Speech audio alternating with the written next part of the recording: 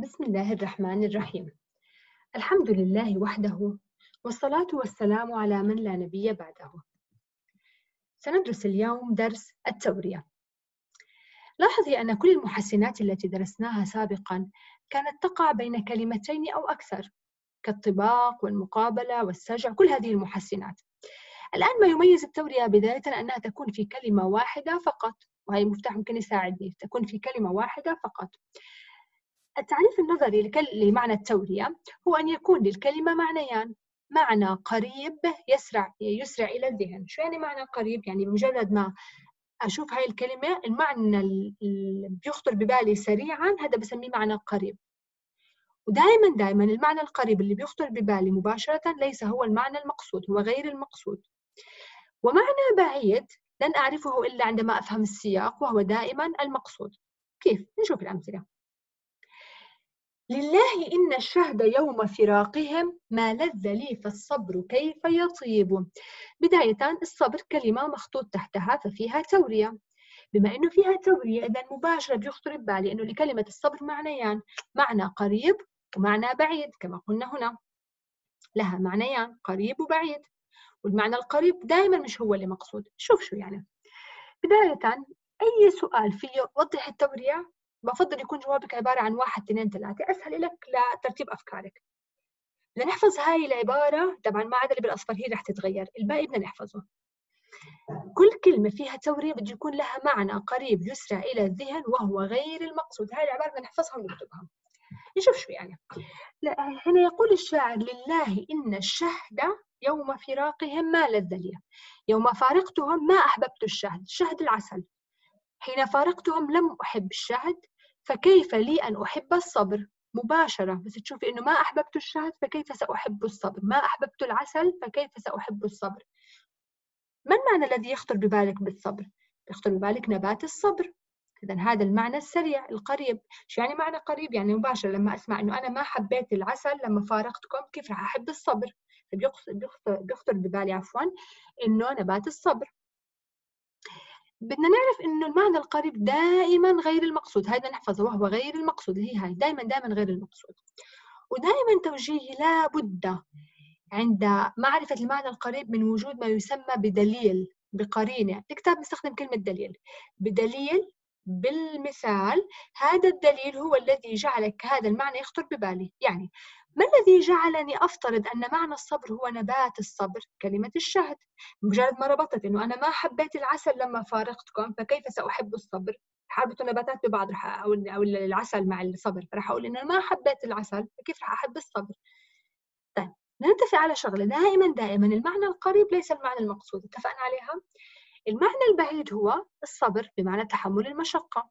وشايفة هاي جملة بدلالة السياق هاي دائما يا توجيه بدها تنكتب مع المعنى البعيد. دائما بعد ما طلع المعنى بتقولي بدلالة السياق. شو يعني بدلالة السياق؟ يعني هذا المعنى اللي مخبى اللي أنا لما فهمت البيت طلعته. وبالمناسبة هذا الدرس يا توجيه درس حفظ بامتياز. بعدنا نفهمه بدنا نحفظ كل الأمثلة سواء اللي واردة بالدرس أو اللي واردة بالأسئلة. شوف مثال آخر عشان نتأكد إنه أمورنا تمام. وواد حكى الخنساء لا في شجونه ولكن له عينان تبكي على صخر. هلا لمجرد الكلمة المخطوط تحتها صخر اذا صخر كلمة فيها تورية. تمام؟ اذا إحنا اتفقنا اذا فيها تورية اذا لها خليكي حاولي تحكي معي وأنا عم بشرح. لها معنيان معنى قريب ومعنى بعيد. المعنى القريب دائما ليس المقصود والمعنى البعيد دائما المقصود. ننتفع على هاي الأمور الحفظ. المعنى القريب اللي أول معنى بيخطر ببالي نشوف.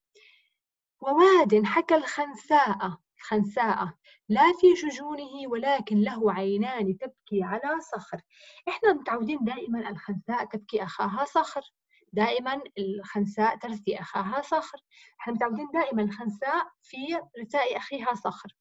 اذا الآن أول جواب أو أول معنى لكلمة صخر بيخطر ببالي هو أخو الخنساء شخص اسمه صخر. طيب بدي اطلع الدليل. يعني لابد توجيهي دائما من للمعنى القريب من دليل. يعني بدك تقولي إنه والله هاي الكلمة خلت المعنى اللي يخطر ببالي هو أخو الخنساء. شو هي الكلمة الخنساء؟ أنا ربطت لما شفت كلمة الخنساء وصخر ربطت إنه الخنساء أخو صخر. طيب إذا معنى قريب يسرع إلى الذهن وهو غير المقصود. وهي حفظ اللي هو صخر أخو الخنساء. بدليل قلنا كلمة الخنساء. طيب بما إنه معنى القريب فهو أكيد مش المقصود. طب ما المعنى المقصود المعنى البعيد اللي هو صخر الوادي وبدك تكتبيها دائما بدلالة السياق.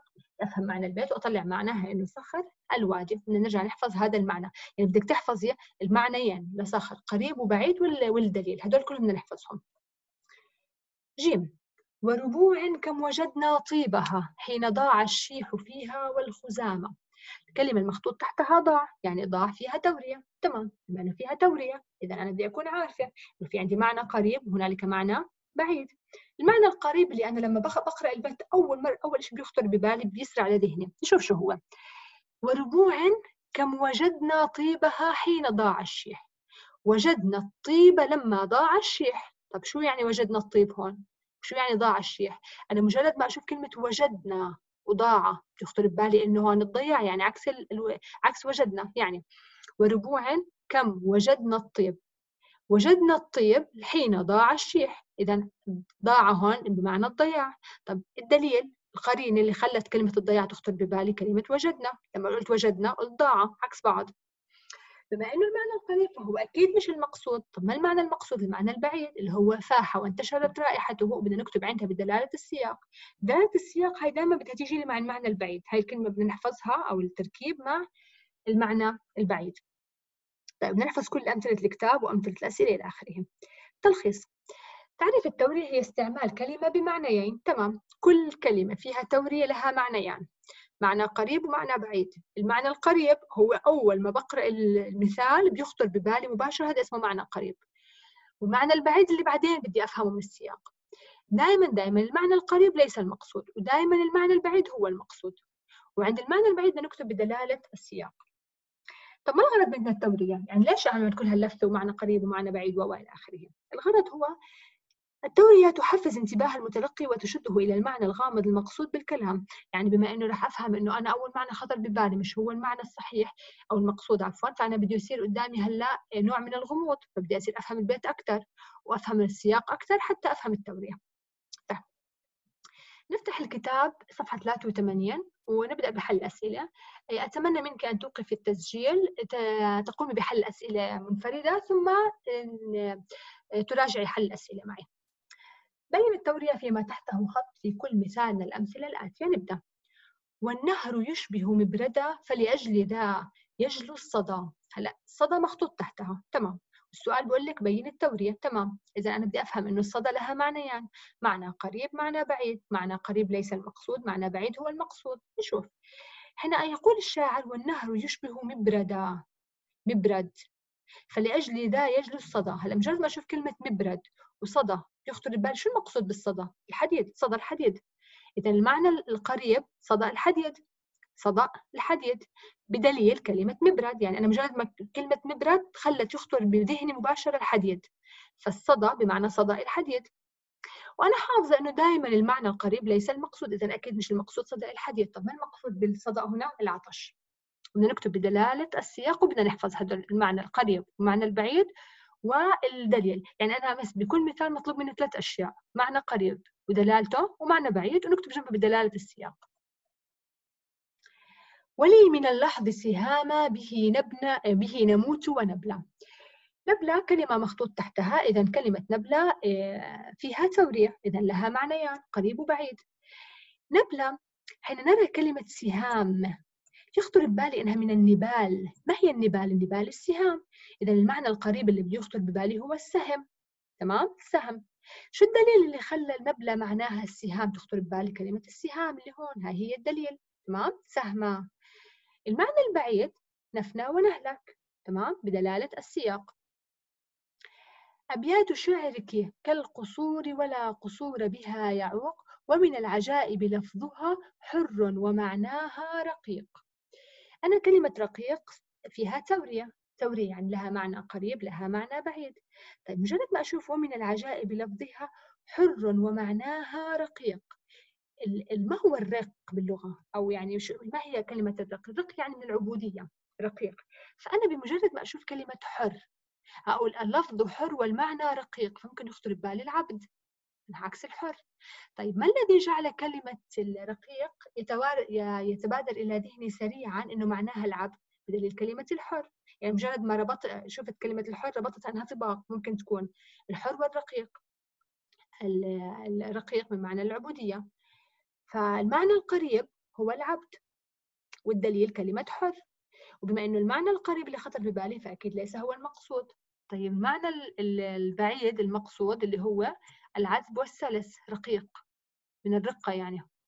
تمام؟ هذا هو المعنى البعيد. الطير تقرأ والغدير صحيفة والريح تكتب والسحاب ينقط. كلمة ينقط فيها تورية يعني فيها معنى قريب وفيها معنى بعيد. طيب المعنى القريب بدي ألاقي كلمة بالبيت أعطتني دليل وساعدتني. لما أقول لك الريح تكتب والسحاب ينقط شو بيخطر ببالي؟ إنه الريح تكتب من الكتابة والسحاب تضع النقاط على هذه الحروف التي كتبتها الريح مش هيك بده يخطر ببالي؟ هلأ دائما دائما في عندي قرينة في عندي دليل بيخلي هذا الجواب يخطر ببالي. كمان مرة بما إنه شفت كلمة تكتب رح يخطر ببالي المعنى الآتي وهذا منطقي جدا إنه يخطر ببالي هيك. الريح تكتب فكانها إنسان يكتب. والسحاب ينقط يعني الريح بتكتب بعدين بيجي السحاب بيحط النقاط على الحروف اللي كتبها الريح. فالمعنى السريع نقط نقط الحروف يعني وضع النقاط على الحروف. تمام؟ هذا معنى قريب. بما إنه معنى قريب فهو ليس المقصود. طيب شو الدليل اللي خلاه يخطر ببالي كلمة تكتب؟ فبربط الكتابة بالتنقيط. طيب المعنى البعيد إنزال نقاط المطر. إنزال نقاط المطر. بدلالة السياق وبدلالة السياق قلنا دائما تكون مع المعنى البعيد. طيب السؤال الثاني وضح المحسنات البديعية في كل مما يلي مما يلي يعني باختصار هذا السؤال جمع كل الوحدة الست دروس اللي درسناهم. نشوف. قال تعالى في الذين كرهوا الجهاد وتخلفوا عن رسول الله صلى الله عليه وسلم قال تعالى فليضحكوا قليلا وليبكوا كثيرا جزاء بما كانوا يكسبون صدق الله العظيم. مجرد ما أشوف يضحكوا ويبكوا. وقليلا وكثيرا. لما يكون عندي توجيه كلمتان ثم جئنا بكلمتين متضادتين يعني كلمة وعكسها ثم كلمة وعكسها. شو بنسميها قلنا؟ مقابلة. ليش مش طباق؟ لأنهم أكثر من كلمة مع أكثر من كلمة. متفقين على هذا الحكي. لو كانت يضحك ويبكوا لحالها تمام طباق. بس بما أنه صارت كلمتين وبعدين جئنا بعكسهما على الترتيب فإذا هون صارت آه، مقابلة. تمام؟ قال عليه الصلاة والسلام رحم الله عبدا. آه هاي عفوا بس خلينا نظبطها رحم الله عبدا قال فغنم أو سكت فسلم. نشوف. نريد ما أشوف قال وسكت هدول شو سميناهم؟ طباق إيجاب. هيهم قال عكسها سكت طباق إيجاب. غنم وسلم غنم سلم. لاحظي إنه الغنم هيها انتهت بالعبارة بآخر حرف اللي هو الميم واللي بعدها بحرف الميم. فغنم وسلم استجع ويكون في حرف الميم. إذا في عندي أنا هون محسنين. عندي طباق إيجاب بقال وسكت وعندي سجع حرف الميم بغنم وسلم شكرا لنسمة أرضكم كم بلغت عني تحية. لا غروة إن حفظت أحاديث الهوى فهي الذكية. الآن في عندي كلمة الذكية. وهي بدنا نحفظها. فيها تورية. طيب. في عندي تورية بما أنه في عندي تورية هون بالذكية إذا في عندي معنى قريب ومعنى بعيد. طيب أنت حاول ما تتفرج على الإجابة. لما أقول لك حفظت أحاديث الهوى فهي ذكية هي تحفظ فهي ذكية. إذا شو بيخطر ببالك الذكية معناها هون؟ تمام الذكية من الذكاء تميز. لأنه بدليل كلمة حفظت أحاديث الهوى فالذي يحفظ هو إنسان ذكي.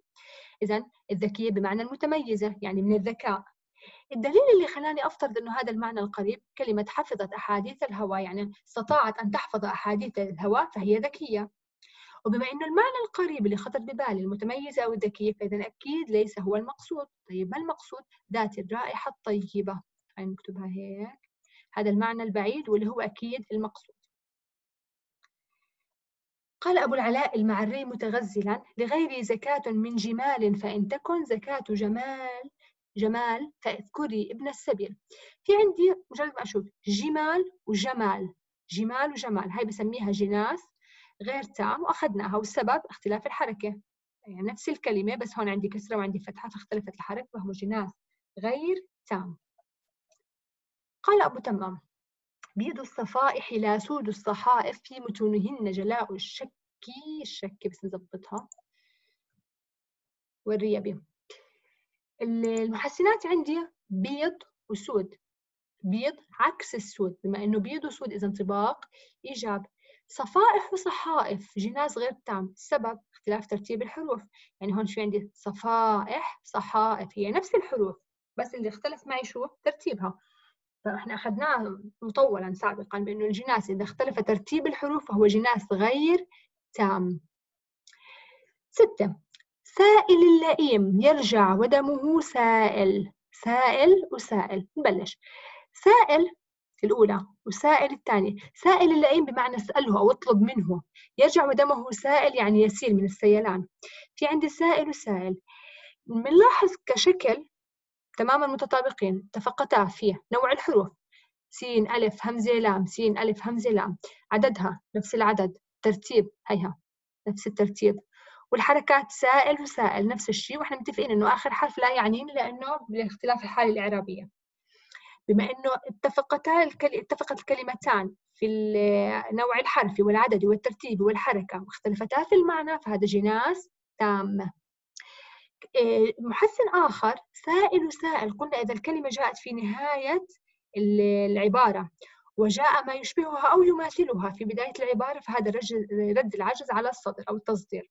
إذا في عندي محسنين بنفس الكلمتين فيها جناس تام وفيها آه، تصدير أو رد العجز. آخر مثال قال ابن المعتز في وصف الكتاب والقلم الكتاب والج الأبواب جريء على الحجاب به يشخص المشتاق ومنه يداوي الفراق الفراق والقلم مجهز لجيوش الكلام يخدم الإرادة يسكت واقف يسكت واقفا وينطق سائرا. بداية. نطلع هون عندنا عند الفاصل عند نهاية الجملة. عندي الأبواب عندي الأبواب. الحجاب. با وبا هذا شو بسميه قلنا؟ سجع. الأبواب بالحجاب السجع في حرف الباء. نكمل. به يش به يشخص المشتاق هي القاف. والفراق القاف أيضا. سجع هيها المشتاق المشتاق والفراق سجع في حرف القاف. هلا يسكت واقفا وينطق سائرا أو يسكت واقفا. عندي يسكت وينطق عكس بعض. واقف وسائر عكس بعض. إذا إجى عندي كلمتين وعكسكم عكسهم كلمتين شو قلنا هاي اسمها؟ مقابلة. تمام؟ إذا مرة أخرى. آخر مثال في عندي سجع بالباء سجع بالقاف مقابلة في آخر آه، كلمتين لأنه أكثر من كلمة. تمام؟ وبهذا عزيزاتي نكون قد انتهينا من درس التورية ومن أسئلته آه، أتمنى منك حفظ الأمثلة جميعها بالتفصيل حفظ أمثلة الكتاب وأمثلة الشرح والأسئلة كاملة تمام؟ السلام عليكم ورحمة الله وبركاته.